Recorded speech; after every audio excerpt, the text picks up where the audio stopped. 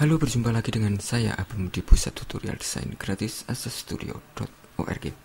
Oke, uh, di website saya ada banyak tutorial tentang komputer dasar jika Anda baru mengenal komputer dan After Effects untuk video 3D dan banyak lagi.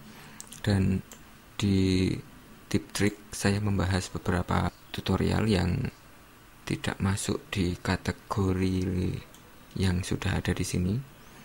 Di sini saya membahas tentang membuat video tutorial, menginstal gen coding dan semua di luar dari kategori yang sudah ada saya masukkan di tip trik. Dan sekarang yang akan saya bahas adalah Window Movie Maker. Jika Anda melihat di sini, jika saya menuju ke Start, saya tidak mendapatkan window movie maker di sini. Dan di Windows 7 saya harus menginstalnya dan baru saya bisa mendapatkan window movie maker. Dan di sini jika Anda mengetikkan window movie maker maka Anda akan mendapatkan di sini Microsoft window Movie Maker. Dan silakan klik kanan dan download dari window Movie Maker dari Microsoft semacam ini dan Anda akan mendapatkan informasi seperti ini.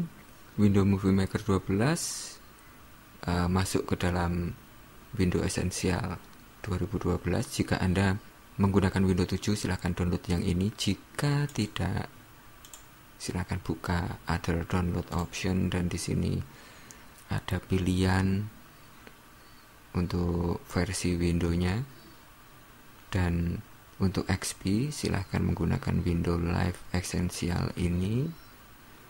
Dan bahasanya seperti itu yang tersedia. Silahkan ketikkan ini jika Anda menggunakan Windows XP dan saya akan menuju ke halaman ini dan mendownload dan di sini saya punya 1,2 dan saya simpan ke Oke, saya sudah mendownload dan saya replace. Dan sekarang saya sudah mempunyai. Saya buka dan oke, run. Di sini ada window essential 2012 dan silakan tunggu untuk proses choose program. Oke, okay. di sini ada pilihan install all Windows Essential dan saya memilih beberapa produk dan oke okay, saya tidak menggunakan ini uh, saya tidak menggunakan ini oke okay, saya hanya memilih satu foto galeri dan movie maker. Dan oke okay, saya klik install maka akan mendownload movie maker. Dan silakan ditunggu sampai proses download selesai dan saya akan lanjutkan di waktu selanjutnya setelah proses ini selesai. Oke okay, setelah proses download selesai akan langsung diinstal seperti ini. Dan jika anda lihat di bagian sini Anda sudah mempunyai movie maker dan foto galeri.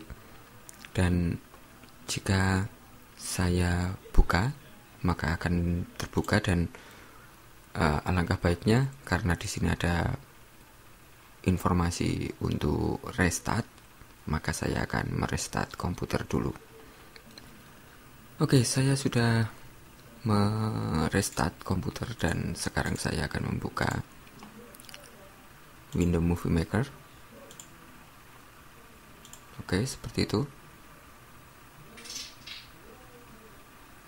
Dan jika Anda lihat tampilannya sederhana dan bagi Anda yang ingin uh, mempelajari video editing, silakan menggunakan window Movie Maker karena tampilannya yang sederhana. Di sini ada semacam ini karena saya masih pertama kali membuka dan silakan klik save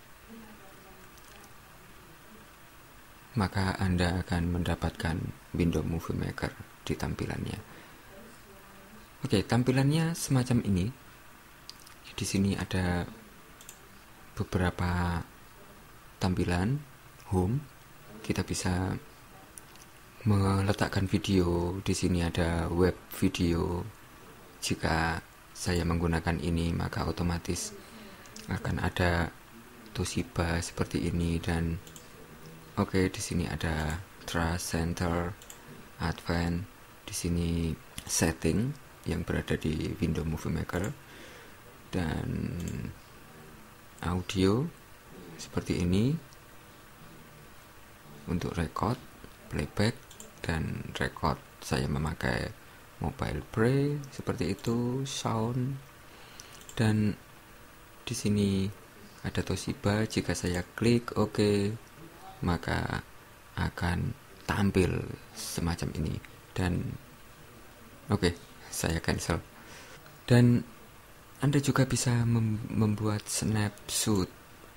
Jika anda mengaktifkan ini dan akan ada di sini di picture dan jika saya save maka akan ada snapshot dari uh, gambar yang tertampilkan di sini. Oke, saya hapus. Dan di sebelah sini ada title. Oke, Anda bisa memberikan tulisan testing movie maker. Oke, semacam ini dan saya akan mendapatkan tampilan dan edit tag background color tulisannya oke seperti itu. Dan jika saya play maka akan ada semacam ini. Karena yang aktif adalah ini. Jika saya memilih seperti ini dan saya putar maka hasilnya akan berbeda. Oke jika saya pilih ini saya putar maka hasilnya juga akan berbeda. Dan di sini ada banyak template untuk title. Jika saya memilih yang ini langsung ada animasi. Oke seperti itu.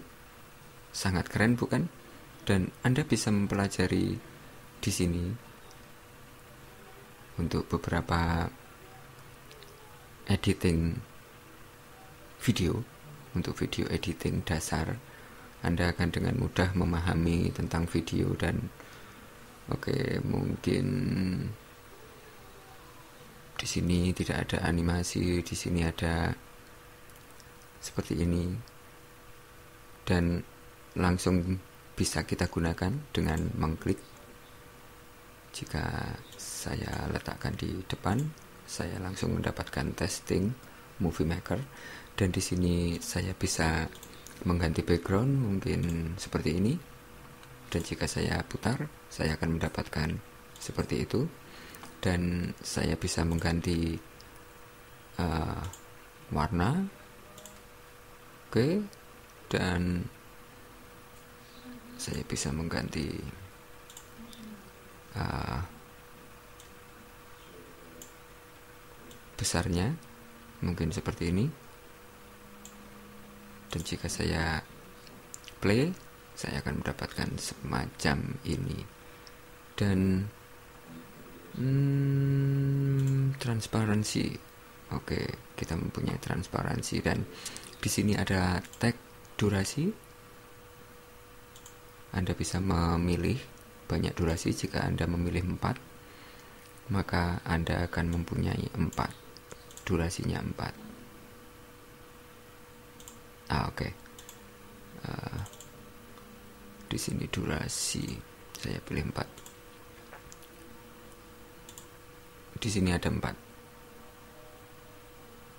dan silakan anda mencoba-coba untuk menggunakan Windows Movie Maker dan di tutorial selanjutnya saya akan menunjukkan tentang banyak menu di sini. Ada animasi, visual effect, project, view, dan di sini ada format, banyak lagi.